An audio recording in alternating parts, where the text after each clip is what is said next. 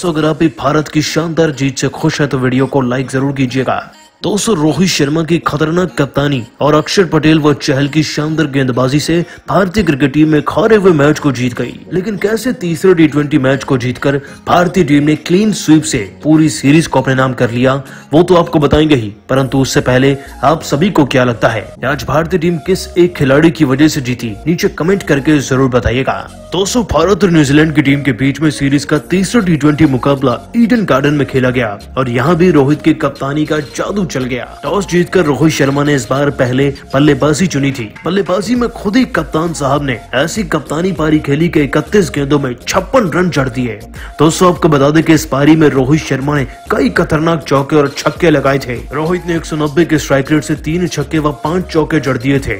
ईशान किशन भी कम नहीं थे। वो भी उनतीस रन लगा गए और दोनों खिलाड़ियों ने 10 ओवर में ही हमारी टीम को 80 के पार पहुँचा दिया था। लेकिन इनके अलावा मिडिल ऑर्डर में फिर और कोई खिलाड़ी कुछ खास नहीं कर सका। श्रेयस अय्यर 25 रन, वेंकटेश अय्यर 20 रन पर आउट हो गए थे। परंतु जाते जाते दीपक चहर कैमियो प्ले कर गए। आपको बता दें कि आठ गेंदों में ही चहर ने 21 रन जड़ दिए थे और अकेले आखिरी ओवर में एडम मिलने को उन्होंने 19 रन जड़ दिए थे इस छोटी व तूफानी पारी के चलते ही भारतीय क्रिकेट टीम एक सौ चौरासी तक पहुँच गई और जीतने का लक्ष्य मिला विरोधी टीम को एक रनों का। अब दोस्तों, लक्ष्य से साफ़ हो चुका था। 90 प्रतिशत तो भारतीय टीम जीत चुकी है, लेकिन मैदान में आकर रोहित शर्मा की कप्तानी, अक्षर पटेल और चहल की गेंदबाजी का एक ऐसा कॉम्बिनेशन देखने को मिला, जिसके आगे न्यूजीलैंड की टीम नतमस्तक हो गई। बाकी ओवर्स में तो न्यूजीलैंड की टीम की शुरुआत काफ़ी ताबड़तोड़ रही। दो ओवर खत्म होते ही न्यूजीलैंड की टीम का स्कोर 21 तक हो चुका था। कि तभी पारी के तीसरे ओवर में अक्षर पटेल ने चमत्कार ही कर दिया,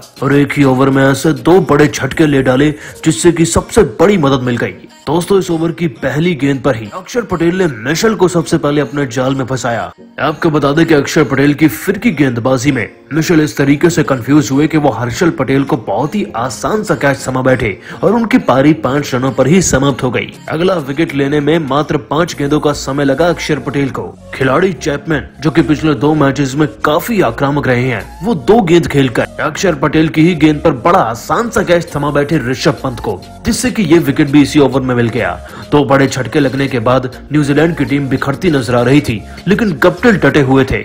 इसी बीच मैदान में आकर ग्लैन फिलिप्स कुछ कर पाते। चार गेंदे खेलकर वो भी अक्षर पटेल की गेंद पर क्लीन बोल्ड हो गए, वो भी शून्य पर। 203 विकेट शुरुआती दौर में तीनों अक्षर पटेल के नाम रहे। कप्टिल मैदान पर सेट थे। उनका विकेट बहुत ही ज़रूरी था, कि तभी मैदान में चहल ने सबको बता दिया कि एक्सपीरियंस क्यों ज़रूरी है। दोस्तों कप्टिल ने तबाही मचा रखी थी। चार चौके और चार छक्के जड़कर उन्होंने 36 गेंदों में इक्यावन रन तक लगा दिए थे। कि तभी चहल ने अपनी फिरकी गेंदबाजी के जाल में कप्तिल को बड़ा शॉट मारने पर मजबूर किया, लेकिन गेंद उनके पल्ले पर आ ही नहीं पाई और वो कैच समा बैठे सूर्य कुमार यादव को जिससे कि हमें कप्तिल का भी विकेट मिल गया और अब चार विकेट हो गए थे न्यूजीलैंड की टीम के। और दोस्तों, इसके बाद मैदान में आकर सीफट और सेंटनर जैसे खिलाड़ी तो रनआउट ही हो गए थे। बात रही जेमी निशम की तो वो भी कुछ खास नहीं कर पाए। और चहल की भी शानदार गेंदबाजी ने भारतीय क्रिकेट टीम को सबसे बड़ा विकेट दिलाया, लेकिन जीत का सबसे बड़ा फैक्टर है रोहित शर्मा की शानदार कप्तानी, जिन्होंने वक्त वक्त पर फैसले लिए और उनकी कप्तानी के बलबूते पर ही भारतीय क्रिकेट टीम इतनी आसानी से इस मैच को जीतकर सीरीज़ को ही तीन शून्य से जीत चुकी है। दोस्तों, ये शुरुआत है एक सुनहरे दौर की, क्योंकि रोहित शर्मा कितने अनुभवी व सफल कप्तान हैं, ये हम सभी जानते हैं। लेकिन भारत की जीत को आप दस में से कितने नंबर देंगे, कमेंट ज़रूर कीजिएगा। और ऐसी सभी ताज़ा खबरों के लिए भी सब्सक्राइब कीजिए